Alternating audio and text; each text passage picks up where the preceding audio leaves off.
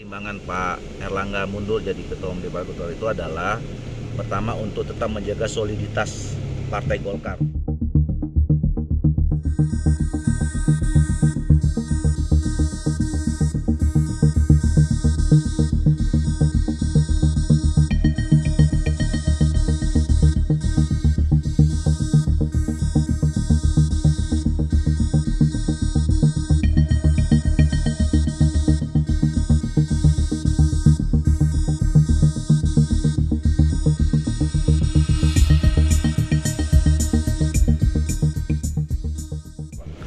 Ya benar ya. Pak Erlangga sudah menyatakan pengunduran resminya sebagai Ketua Umum DPR Partai Golkar ya.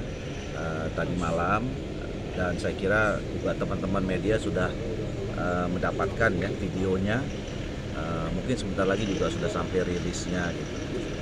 Nah dasar pertimbangan pengunduran diri itu adalah ya Pak Ketua Umum mempertimbangkan ya soliditas di dalam eh, jajaran Partai Golkar eh, dan juga menjadi bagian untuk mencoba men- menciptakan situasi kondusif ya, di dalam eh, masa transisi pemerintahan yang akan datang. Jadi beliau lebih berkonsentrasi untuk eh, di kabinet karena tenaga ketua umum kami itu sebagai Menko Perekonomian eh, eh, sepertinya lebih dibutuhkan ya, di kabinet untuk mengantarkan eh, masa transisi pemerintahan.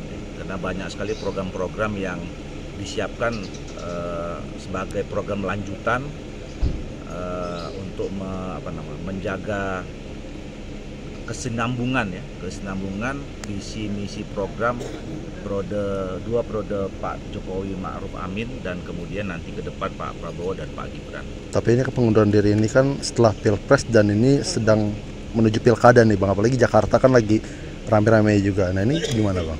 Ya justru eh, untuk menjaga itu semua ya supaya agenda-agenda eh, partai Golkar, agenda eh, nasional ya termasuk pilkada supaya lebih eh, smooth ya, lebih terjaga gitu.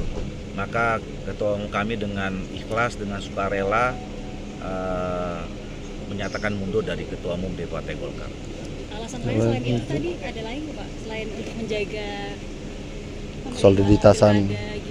Tadi kan sudah saya sampaikan ya per- dasar pertimbangan pertimbangan Pak Erlangga mundur jadi ketua umum DPR Golkar itu adalah pertama untuk tetap menjaga soliditas Partai Golkar ya Eh, keutuhan Partai Golkar di dalam menghadapi agenda ke depan termasuk menghadapi agenda eh, menjalankan masa transisi pemerintahan yang eh, sampai pemerintahan yang baru. Jadi Pak Erlangga lebih memilih konsentrasi sebagai Menko Perekonomian karena banyak program-program eh, yang memang harus disesuaikan. Yang itu juga menjadi eh, tugas dan tanggung jawab Pak Erlangga ya.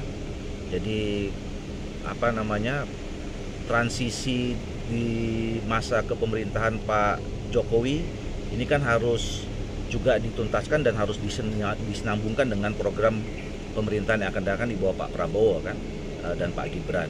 Jadi ketua umum kami akan konsentrasi menangani masalah itu. Tadi Cukup ya? Pak ini satu lagi kan baru saja